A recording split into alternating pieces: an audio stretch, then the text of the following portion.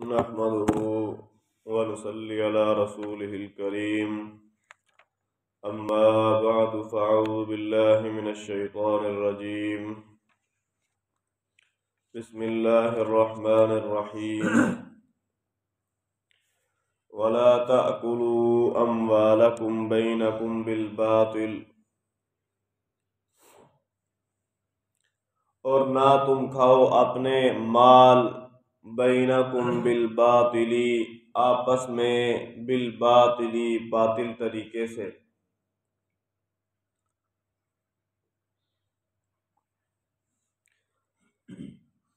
پیچھے رمضان کی بات چل رہی ہے۔ رمضان میں روزے کی حالت میں انسان نے کئی حلال کام چھوڑنا ہوتے ہیں۔ جن میں کھانا پینا، اسی طرح عورتوں سے ملنا، یہ وہ کام ہے جس سے انسان نے روزے کی حالت میں کلی طور پر اجتناب کرنا ہوتا ہے۔ اسی مناسبت سے اللہ رب العزت نے یہاں یہ آیت ذکر فرمائی، ولا تاكلوا اموالكم بينكم بالباطل، کہ نہ تم کھاؤ اپنے اموال آپس میں باطل طریقے سے۔ خواہ جس کا تم مال کھا رہے ہو، وہ اس پر راضی کیوں نہ ہو؟ مثال کے طور پر سود ہے، زنا کی اجرت ہے،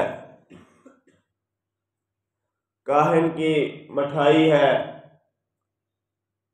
اسی طرح وہ تمام حرام چیزیں جسے جسے شریعت حرام ٹھہراتی ہے، جن چیزوں کو شریعت حرام قرار دیتی ہے، خواہ اس پر مالک راضی ہی کیوں نہ ہو، اللہ رب العزت فرما رہے ہیں بالباطلی باطل طریقے سے جو بھی تم آپس میں مال ایک دوسرے کا کھاتے ہو، ایسا نہ کرو۔ وَتُدْلُوا بِهَا إِلَى الْحُكَّامِ اور نہ لے جاؤ ان مالوں کو إِلَى الْحُكَّامِ حاکموں کی طرف۔ اس کا ما، اس کے دو معنی ہے ایک معنی تو یہ ہے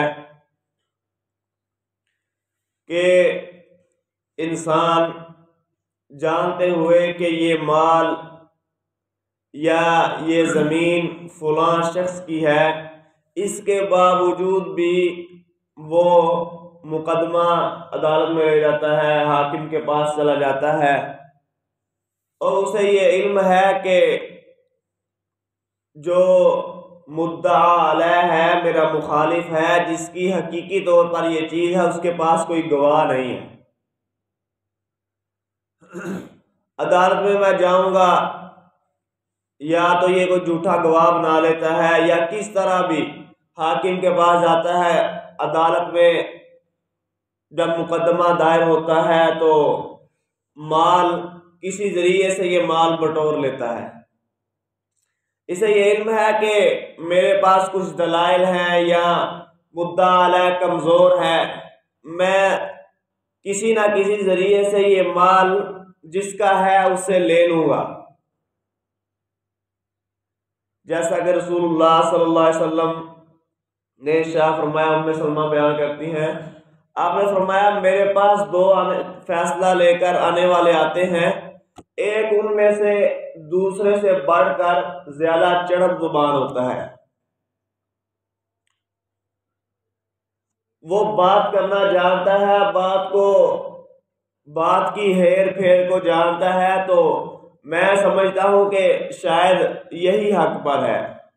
میں فیصلہ اس کے حق میں دے دیتا ہوں، تو یاد رکھو، میں جس جس کے حق میں بھی میں فیصلہ دوں اور فیصلہ اس کے حق میں نہ بنتا ہو، جو چیز میں اسے دے رہا ہوں، خواہ میں دے رہا ہوں، وہ آگ کا ٹکڑا ہے۔ میں اسے آگ کا ٹکڑا دے رہا ہوں، وہ اس سے بچے۔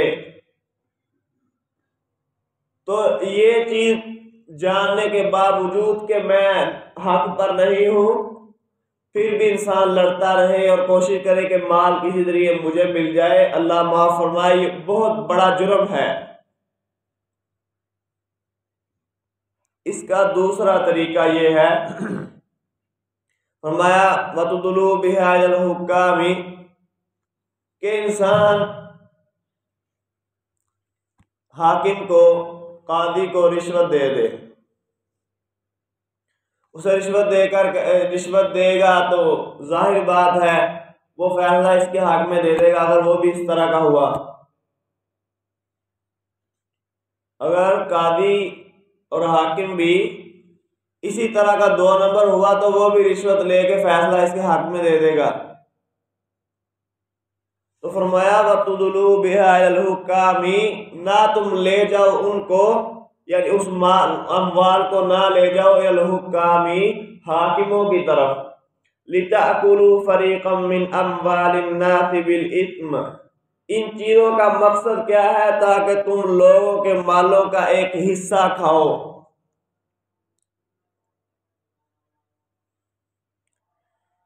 بالاسم گناہ کے ساتھ۔ وانتم تعلمون و تم جان جان بھی رہے ہو کہ تم غلطی پر ہو، باطل پر ہو۔ تو اللہ فرماتے ہیں، ان کاموں سے بعد آ جاؤ۔ تو اللہ رب العزت سے دعا ہے۔ اللہ رب العزت ہمیں حرام سے بچنے کی توفیق عطا فرمائے۔